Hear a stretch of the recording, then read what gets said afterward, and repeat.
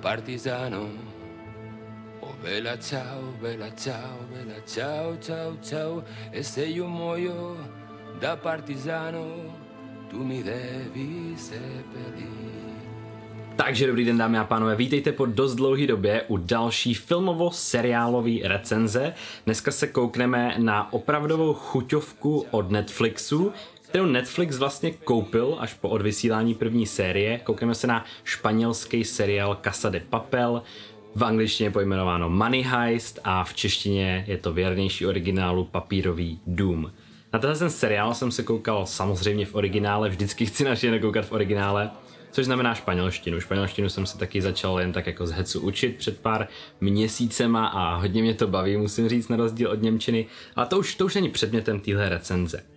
Tehle seriál má samozřejmě své silné stránky, své slabé stránky a myslím si, že dneska si je krásně popíšeme, rozebereme a potom dojdeme i k nějakému hezkému závěru.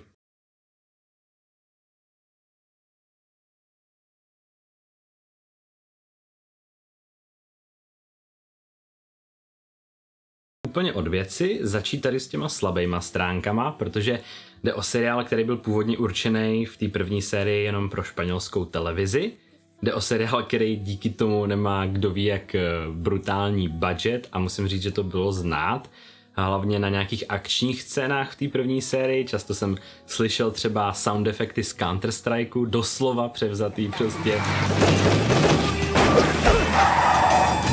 takový jako, že když to srovnáte s tím, že se jdete kouknout do kina na Avengers, na ty akční scény tam, tak to nebylo jako, nebylo to úplně tip-top a myslím si, že i díky tomuhle porovnání a díky tomu, že jsme všichni na ten Hollywood tak hrozně zvyklí, tak eh, mě tohle hodně jako dokázalo vytrhnout z té akce, protože ten standard mám prostě jako divák hodně jinde. A to samý i s kamerou, to samý i s hudbou, která zněla jako kdyby to složil nějaký prostě student eh, v rámci semestrálního projektu. Neříkám, že studentský práce jsou špatný, spíš jsem chtěl říct, že prostě nebylo na to tolik času ani tolik peněz a trošku to podle toho vypadalo.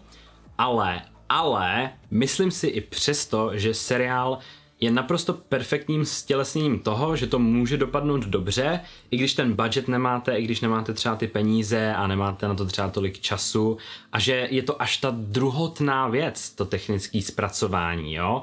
Samozřejmě dokáže to uškodit, když máte ten film natočený technicky špatně, ale vzhledem k tomu, že tady byl skvělý scénář a hlavně, a, a to, to no nejdůležitější ze všeho, úžasný postavy, tak to tomu seriálu zkrátka tolik nevadilo postavy. Zdaleka nejsilnější stránka celého seriálu. Je to i velký rozdíl kouknout se na hollywoodské postavy, které jsou tam psaný a kouknout se na postavy, které jsou psané v Evropě, v Jižní Evropě, prostě ty, ty Španělé nad tím přemýšlejí jako trochu jinak a ty, ty postavy taky fungují trochu jinak, jsou šíleně temperamentní, často to přecházelo, ano, i do absurdit, kdy opravdu, uh, teďka trochu spoiler, vydá se tam prostě nějakých 7-10 lidí do banky na loupež a z těchhle z těch třeba cca deseti lidí spolu jako má zhruba tak 90% z nich nějaký vztahy partnerský a ne jako, že jenom se spárujou, jako jo, ale vznikají tam různý milostní trojice, čtveřice.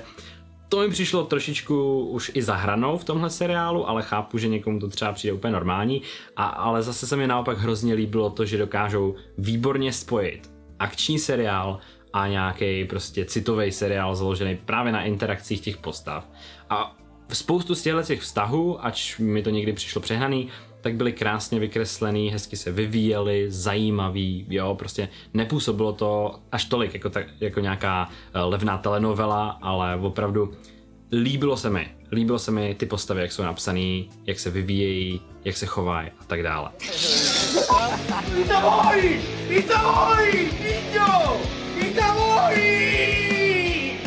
Kostra toho příběhu je výborná v těch prvních pár sériích, pak mi trošku přijde, že ve třetí a ve čtvrtý se to začíná opakovat, jsem zvědavý, jak to dopadne, ale ta druhá verze toho samého příběhu, jako je ve třetí a ve čtvrtý, tak si myslím, že je i o něco víc jako vyšperkovaná a i o něco víc promakaná a zajímavá než ta první, ačkoliv zase prostě ztrácí hrozně na tom, že už jsme to jakoby jednou viděli, tak Nevím jak vy, určitě mi napište, co si o tom myslíte, jestli jste seriál třeba viděli. Jestli vám to přijde, že to je to samý, anebo jestli se vám to jako fakt líbí. Opravdu skvěle tehle scénář pracuje s napětím, který je téměř všudy přítomný, málo kdy si u tohohle seriálu opravdu oddychnete. A to považuji za opravdu věc, která není lehká. Není to jednoduchý udělat, aby to fungovalo, že je člověk pořád z něčeho napjatý a pořád je z něčeho ve stresu a pořád někomu hrozí nějaký nebezpečí, který je reálný a opravdu se toho člověk bojí a působí to skutečně. Takže za tohle fakt velký palec nahoru. Na druhou stranu, když bych to měl zase něčím vyvážit, tak eh, se tam objevují občas nějaké nelogičnosti nebo nějaké věci, jako že mm, tohle bylo až moc lucky, nebo tohle to by podle mě se stalo trošku jinak a tak dále. Například, eh, když jedna z hlavních postav je tam zraněná, spoiler, jakože fakt hodně a je prostě po operaci a normální člověk by byl jakože ahoj, jak se máš? A ona po téhle operaci, kde by to takhle reálně vypadalo, tak uh, tam má skvělej prostě hlasitý proslov a křičí a kde si co si, takže to mi trošku třeba nesedělo a takovýchhle věcí je tam víc, ale jinak eh, pokud člověk trošičku, trošičku ten mozek, nechci říkat vypne, protože musíte přemýšlet u tohohle seriálu a to je taky skvělý. Ale pokud člověk ten mozek, řekněme, do určitý míry utáhne, tak si to opravdu podle mě užijete hodně.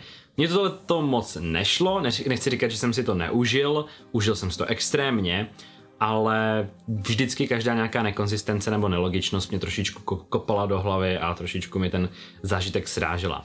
I přesto hrozně oceňuju, když Evropa vyprodukuje něco takhle skvělého a jsem pišnej na to, že, že to prostě prorazilo mezi těma stovkama zajímavých a skvělých seriálů na Netflixu, který je opravdu i tak jako docela známkou kvality a stalo se to tam celosvětovým hitem a já se vůbec nedivím, protože ty charaktery, které v tomhle seriálu jsou, jsou opravdu skvělý a výborně napsaný.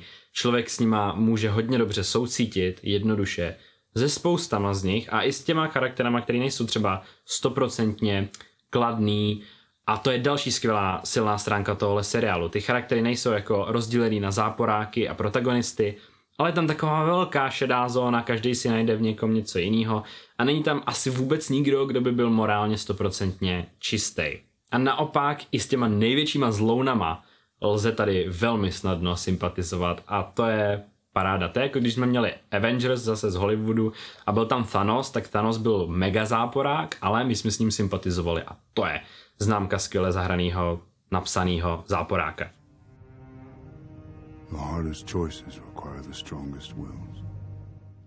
Opravdu moc se těším na další sérii, která by měla být, nejsem si jistý, jestli tahle nebo až příští rok, ale doufám, že to bude pecka, ta poslední skončila zajímavým cliffhangerem, takže Další silný prvek tohohle seriálu jsou cliffhangery, skoro každá epizoda, každá série si končí, takže se musíte jít kouknout na další a prostě to binge note.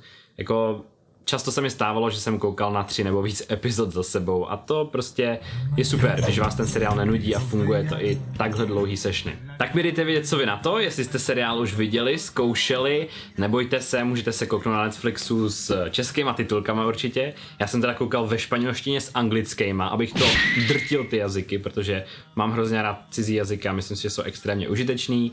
Chtěl jsem dělat recenzi tohle dobou na Black Widow, na novýho Bonda, ale bohužel korona nám to všechno posunula, takže proto Netflixový seriál, který ale vykvetl v tomhle pro mě úplně krásně a fakt, fakt velmi příjemně mě překvapil, protože jsem si konec konců od něho příliš nesliboval, ale byl výborný a těším se moc i na jeho pokračování.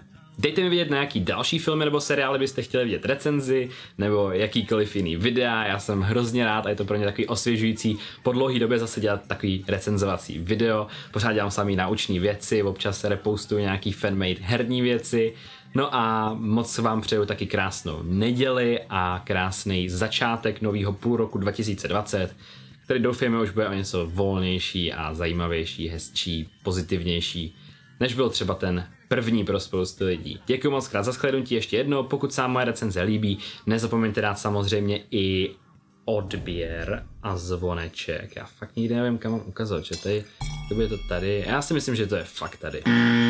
Zjistil jsem, že přes polovinu lidí, co koukají na moje videa, nemají odběr ještě. A docela mě to jako při, přivádí depresi. Takže pokud můžete tuhle statistiku změnit, tak děkuji. A pro dnešek už čus.